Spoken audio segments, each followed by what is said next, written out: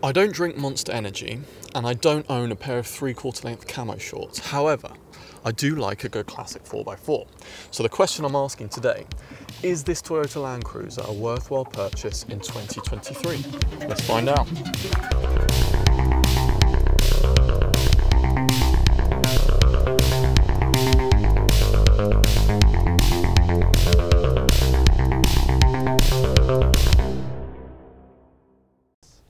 Hello everyone and welcome to my rendezvous with an automotive legend, the 1999 Toyota Land Cruiser Colorado and it's the VX edition, which had a few more bits as extras.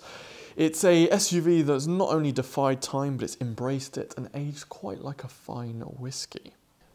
The beating heart of this Toyota Colorado VX is its 3.4 litre V6, the 5VZ-FE, it had around 190 horsepower and 220 foot-pounds of torque.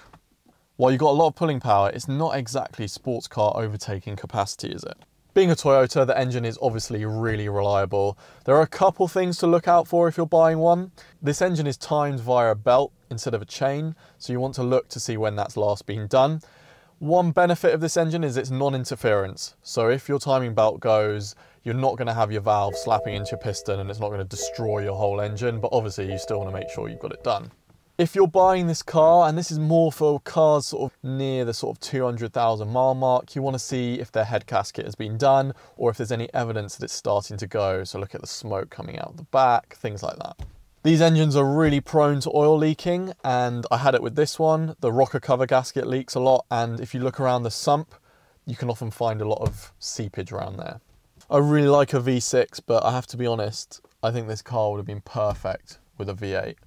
Just the sound of a V8, the size of the car, its road presence, it just would have been all the boxes ticked. That's one little thing I wish I had.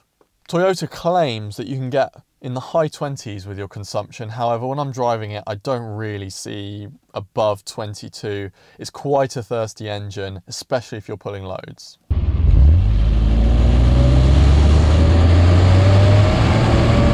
Power is delivered from the engine via a four-speed automatic gearbox. It's quite responsive and it seems to know what you're telling it to do and it doesn't really get lost when you're kicking down or anything like that. Oh, what the this car, as I was alluding to, comes with four-wheel drive and you can actually engage it yourself. You've got a little, what looks like a manual gear change knob down here, which you can use to switch into four-wheel drive mode. You've got a high range and a low range, as well as a locking diff. So really, if you're going proper off-road, you've got all the tools that you'll need to do that successfully. The ride is really nice, and for a 4x4, it's much better than I expected. When it's empty, it's very stiffly sprung, so it's easy for it to sort of dance and skate about and feel a bit like you're driving on stilts. Um, when you put a few things in the car, it seems to settle much nicer and is much nicer to drive. For a Toyota, the interior is actually quite luxurious. There's a quite a liberal dash of leather used all around in this vehicle. You've got heated seats, you've got CD players, dual zone climate control, heated and adjustable electric wing mirrors, which are really useful. I will say as well, although it's got a good AC system with loads of options, it does feel like one of those horrible, icky children coughing on you like that. it's not very powerful. You've got a little small analog clip. You've got a little small analog clock here, which is a nice touch. The buttons are well laid out and it's quite easy to do things without looking at them and it's quite an intuitive interior. Everything is where you'd expect it to be. Your seating position in this car is very high and like cars of the 90s, you've got very thin A, B and C pillars. I think in this car, would you argue it's A, B, C and D? You've got D pillars, you've got four. Anyway, they're quite thin, you've got great visibility. Looking out over the bonnet, you can see where it stops, and looking rearwards, you get a really good idea of where the back is in comparison to the space around you. You even get a small computer, a trip computer here with many different modes. You've got uh, a clinometer, so it can tell you how much you're pitching, how much you're rolling, how much you're going back and forth. You've got a compass, which I guess is useful sometimes and you've got a little computer which you can tell height differences, elevation changes, how high you've gone up, how high you've gone down, things like that that might be useful to an avid off-roader. One little nice touch on this car that I quite like is the aerial that you can put up manually. Seems pretty stupid, but I quite like doing that myself. You've got a large sideways opening boot, which is great for just lobbing anything you can throw into this vehicle. The seats come up, you've got seven seats, so if you've got lots of friends, and you can still fit luggage in, even when you've got seven seats. The exterior is really nice, and it's aged well for something from 1999. Cars of that day seem to use a lot of square and boxy lines, whereas this uses a lot more curves than the average car of the era. You've got a large metal platform step on either side to aid entry into the vehicle, and you've got a built-in roof rack, which is quite useful. I really believe with this car you could go on an 800 mile round trip but at the end of the trip, you could go on a, a fully badass off road trek and the car would just take it in its stride. I've tried some of the newer Land Cruisers, and while they do have a few more comforts on the interior and everything, I feel like they're a bit more underpowered compared to this. And really, if I was using it for anything apart from driving about, I would take the older one over that.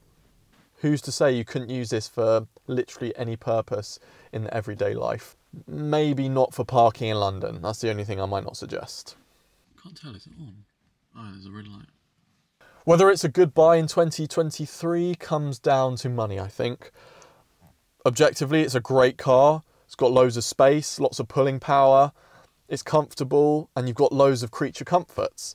However, it's not ULEZ compliant, and I'm sure it's going to be taxed even more in the future when they start clamping down on emissions and all that rubbish. If you've got money to chuck at the car, I think it's a great buy. The reliability of the engine and the sort of smaller cost you have to spend on maintenance kind of offsets the extra cost that you get with ULEZ and environmental charges and petrol and running it. So really, I think, in my opinion, I think this is a great buy in 2023, just as long as you've got a bit of money to throw at it. So there you have it. There's my review of the Toyota Land Cruiser Colorado VX. I really like this car and I'm starting to use it a lot more recently, which shows how much I like it. I don't want to tell you to like and subscribe. That's a bit weird, isn't it? But if you do, we appreciate you. Come back up. So thank you for staying with me and enduring this absolutely terrible review where I demonstrate I know absolutely nothing about cars. However, I hope you've enjoyed seeing this Land Cruiser. Oh, for fuck's sake, into gear.